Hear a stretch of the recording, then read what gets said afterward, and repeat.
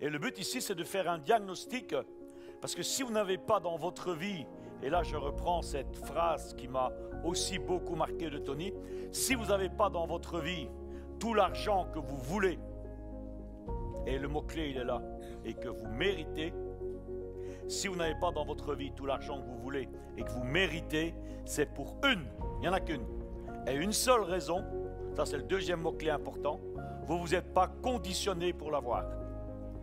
Vous savez que pour atteindre la liberté financière, vous avez besoin non seulement, non seulement vous avez besoin d'avoir des bonnes stratégies, mais aussi le mental. Et pendant cette euh, courte session, je vais vous donner ce qu'on appelle les sept blessures. Vous n'avez peut-être pas toutes, mais si vous en avez une, elle peut suffire à vous saboter votre indépendance financière. Quelle est, cette première blessure?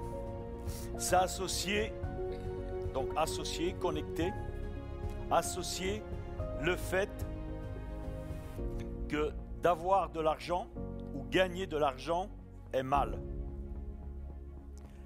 Les gens qui ont des soucis pour la liberté financière, ils ont associé le fait que faire de l'argent, c'est pas normal, c'est pas bien, c'est tabou, c'est pas sain, c'est quelque chose qui est, quand on fait de l'argent, mais dans leur esprit, euh, c'est quelque chose qui est contraire. Ok, deuxième blessure. Et c'est là, je vois que dans certains yeux, c'est pas encore à 100% correct. Cette deuxième blessure, c'est ne pas faire. C'est que la liberté financière n'est pas votre priorité. N'est pas votre priorité absolue. La liberté financière n'est pas la priorité absolue. Vous pouvez avoir d'autres priorités, mais ça doit être dans vos priorités. Est-ce que Martine et le, buddy là, des financières, on va appeler ça le, buddy des financières, le binôme financier. Est-ce que pour vous deux, mesdames, est-ce que la liberté financière, c'est une, c'est une, euh, un must? Ouais, c'est un must. Et c'est toute la différence. Merci de me donner l'intuition de le faire là-dessus. C'est toute la différence. Wow, qui ce qui a fait ces beaux dessins Docteur Alors, où est-ce qu'il a mis les crayons? Vous savez la différence qu'il y a entre les gens qui réussissent et ceux qui échouent? Ceux qui réussissent, le succès, qu'il soit financier ou autre, est un must. Il n'y a pas d'autre alternative. En sport, c'est le même. Quand tu montes sur un terrain, un cours ou n'importe quoi, où tu vas faire du sport, une piste, une piscine, eh bien, il n'y a qu'une chose qui t'intéresse, c'est de gagner, c'est un must. C'est un must. Et les, la plupart des gens, c'est un Schult. Ça sonne mieux en anglais. Si ta réussite financière, c'est un must, ça va marcher. Ça, c'est les winners. Et là, c'est les losers. Les losers, pour eux, la liberté financière, ce serait bien. Ah oui, ce serait bien. Hein. Quand on y pense cinq minutes, ça ferait plaisir. Mais on y pense que cinq minutes. On ne garde pas le cap. Est-ce que toi, tu es focalisé ou c'est un... Est-ce un must? Simplement La question est simple. Est-ce un must ou un schult?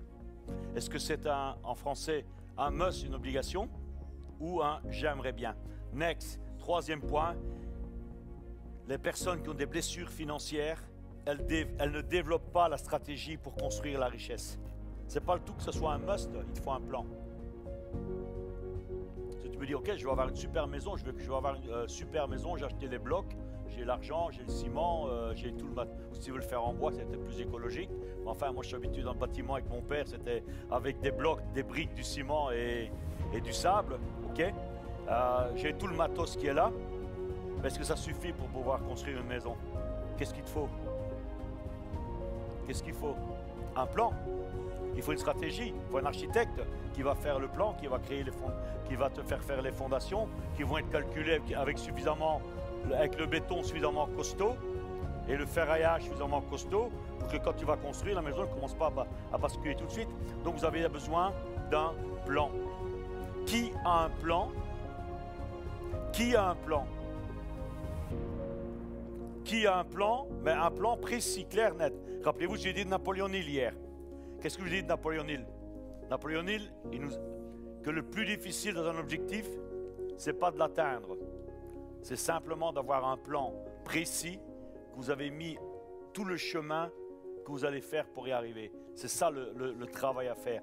Le point suivant, c'est la suite du troisième, troisième, quatrième blessure. Il y a dessus, ils font des plans? Ben, c'est comme un plan de maison. Moi, j'ai déjà vu des gens comme ça. Hein. Ils ont payé un architecte pour faire un plan de maison. Ils n'avaient pas encore le terrain, ils n'ont jamais acheté le terrain. Il n'y a jamais eu la maison. Bon, là, ça vous a peut-être coûté moins cher, ça vous a coûté du temps. Vous avez passé du temps à faire votre plan. Peut-être vous avez suivi des formations pour apprendre. Euh, on l'applaudit, s'il vous plaît, David. Merci. Vous avez pris du temps pour faire le plan. Peut-être euh, suivre une formation pour bien le faire. Mais si vous ne passez pas l'action derrière, ça sert à quoi? N'est-ce pas, Martine? Heureusement que tu es tombé sur Nadège alors. Hein? Ok? Non, mais moi, je comprends pas ça. Hein. Moi, je suis j'ai peut-être pas été beaucoup à l'école, mais s'il y a une chose, c'est que si je mets de l'argent pour apprendre quelque chose, je veux que ça me rapporte. Non? Ou vous payez juste comme ça pour le plaisir d'aller. Si moi je veux une formation, j'ai fait combien de formations ben, Je vais là pour apprendre quelque chose, le mettre en application et avoir des résultats. Point numéro 5. Il compte. Ça, c'est le pire. Ça, c'est le pire pour, pour être riche. Tu demanderas à Romain, mais il va te dire exactement la même chose que moi. Il compte sur les experts. Il compte sur les experts. Alors le pire, c'est les experts dans les journaux. Et le pire, c'est les experts à la télé. Si tu veux avoir les meilleurs conseils, tu écoutes BFM Télé. Qu'est-ce que tu en penses, Nadège? Tu écoutes le. Comment ça Manuel Le Shit, là. Je sais pas s'il fume, mais enfin. Là, tu regardes même pas. Moi, je regarde ce que. Ils me font rigoler parce que parfois, moi je regarde, moi j'aime bien de regarder parfois quand j'ai un peu de temps comme ça, mais au deuxième degré, tu vois. Je les regarde, je me dis putain, vous êtes encore bien en train de foutre la gueule des gens. Hein. Tu vois, tu, les regardes et, tu, décodes un peu tous les conneries qu'ils sont en train de dire. Les, mecs qui sont des experts, je ne sais pas de quoi, ben, quand tu les entends, ils, ils connaissent rien. Point numéro combien? La raison pour laquelle les gens ont des blessures et n'arrivent pas à atteindre la liberté financière, c'est qu'ils se disent, bah, de toute façon c'est bon comme ça. Ça me suffit. Je me souviens, il y avait une maison euh, près, d'où on habitait. Il était marqué sur la maison, c'était, mignon je trouve. Hein. Je trouve je dis ça avec beaucoup de, euh, de sympathie, c'était cool, c'est mignon. Sa maison, elle s'appelait, mais il avait mis ça en, en phonétique, ça me suffit. Vous savez, bon, certains ils appellent la maison du nom de leurs enfants ou ils donnent un nom. Je ne sais pas si ça se fait chez vous, mais en Belgique, ça se fait beaucoup. On donne un nom à, sa, maison. Et là, euh, sa maison, lui, il avait mis ça me suffit. Bon. Mais si tu es dans le schéma de te dire ça me suffit, ce n'est pas un must d'aller plus loin, qu'est-ce qui se passe?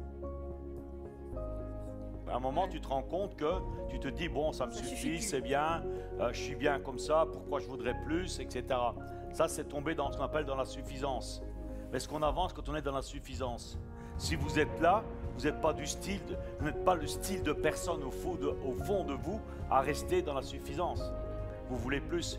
Comment tu te sens euh, à partir du moment où tu as pété ce plafond de verre?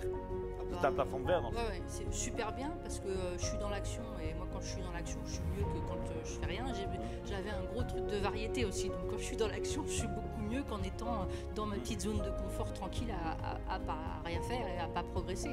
Une fois que tu as dépassé ton scepticisme, que tu as dépassé tes limites, mais c'est là que tu as été tellement sceptique qu'à un moment tu te dis mais putain j'étais con et là boum, il n'y a plus rien qui t'arrête. Que le gars qui dit oui à tout, ben, il dit, dit oui à tout et il dit oui à rien. Alors, dernier point. Et ça, ça tue beaucoup de personnes. C'est là que tu es testé. une blessure très importante, c'est que c'est facile de gérer quand tout va bien. C'est facile quand tu, quand tu fais du sport, tu mènes 1, 2, 3, 0, la balle roule tout seul. Bon, tu mènes 3, 0 tranquille. Ok?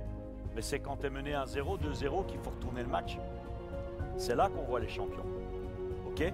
On reste pas bloqué. Tu peux être mené, tu, tu mènes 2, 7 à 0 euh, sur un tournoi du Grand Chelem. Bon, tu vas faire le troisième normalement. Mais si tu es mené 2, 0, 2, 7 à 0, c'est là qu'il faut et, là, il y a que des, grands champions comme Federer, comme Nadal, comme Djokovic qui arrivent à faire des choses comme ça. Pourquoi? Parce qu'ils ont un mental de folie. Un joueur normal, il, un joueur normal, il est mené 2-0, il a déjà lâché. Combien de fois tu vois des gars, ils sont menés 2-0, ils ne viennent jamais? Pourquoi? Parce que dans leur tête, ils ont abandonné, ils ont lâché. Mais c'est le même avec l'argent. C'est exactement le même avec l'argent. Vas-y Je mérite le meilleur Encore Encore je, mérite le meilleur.